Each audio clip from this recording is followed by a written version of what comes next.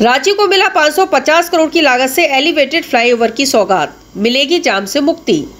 रांची के सांसद श्री संजय सेठ ने रांची के रातू रोड, पिस्का मोड़, राजभवन, जहाँ प्रतिदिन घंटों जाम लगा रहता था, उक्त समस्या को लेकर केंद्रीय मंत्री श्री नितिन गडकरी से फ्लाईओवर निर्माण की मांग की थी। उक्त फ्लाईओवर निर्माण के लिए केंद्रीय मंत्री श्री नितिन गडकरी ने 550 करोड़ की लागत से एलिवेटेड फ्लाईओवर निर्माण के लिए राशि स्वीकृत कर दी है, जो ढाई वर्षों में बनकर कंप्लीट हो जाएगी। रांची झारखंड से चंदन कुमार गुप्ता की रिपोर्ट।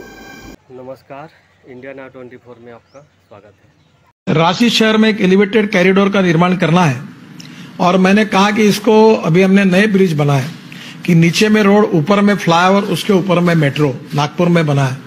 अब हम और बना रहे हैं कि नीचे में रोड ऊपर में फ्लाईओवर उसके ऊपर में फ्लाईओवर और उसके ऊपर में हम एक नई पब्लिक ट्रांसपोर्ट सिस्टम इलेक्ट्रिसिटी का योजना बना रहे हैं। तो मैंने सांसद महोदय आए थे। उनको कहा कि इसका डिज़ाइन बनाते समय इस बातों का विचार करके हम ये रांची शहर के एलिवेटेड रोड और अर्जुन जी, आपको भी विश्वास दिलाता हूँ कि जो आपका जमशेदपुर में भी एक एलिवेटेड रोड बनाना है, दोनों के डिज़ाइन स्पेशली डिज़ाइन करके, महावीर जी को मैंने कहा है कि बने तक हमारे जो अच्छे डिज़ाइनर है, वेंकट रमन करके उनसे हमने अच्छे डिज़ाइन बनाए।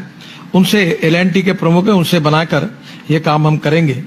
और ये पहली बार हम लोग दो मजली, तीन मजली फ्लाईओवर बना रहे हैं। तो हम झारखंड में ये दोनों के बारे में इसका विचार